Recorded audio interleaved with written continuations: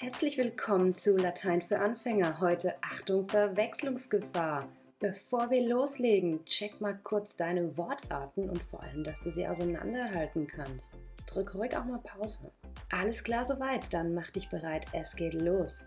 Heute habe ich dir Porter und Portare mitgebracht. Achtung Verwechslungsgefahr.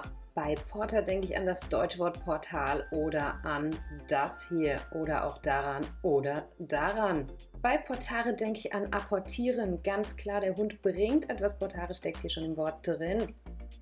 Wer hat bemerkt, dass ich zwei Farben benutzt habe? Aha, Porta ist ein Substantiv, Portare ein Verb. Na, und sagen jetzt die Cleveren, von beiden Wörtern gibt es aber doch eine Form, die auf AS endet. Was tue ich? Keine Panik, ich erkläre es dir schnell. Portas ist nur dann Prädikat, wenn du keine andere konjugierte Verbform hast oder ein et. In folgendem Satz ist das nicht der Fall. Temptant ist das Prädikat. Inimici temptant. Die Feinde greifen an.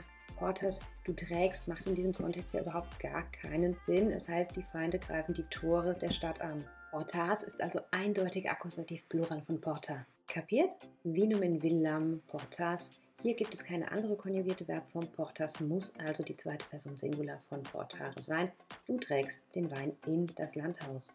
Für die, die es nochmal schriftlich brauchen, hier die Übersetzungen von Porta, Portei und Portare. Ich hoffe, ihr habt was gelernt heute und kommt auch beim nächsten Mal wieder dazu.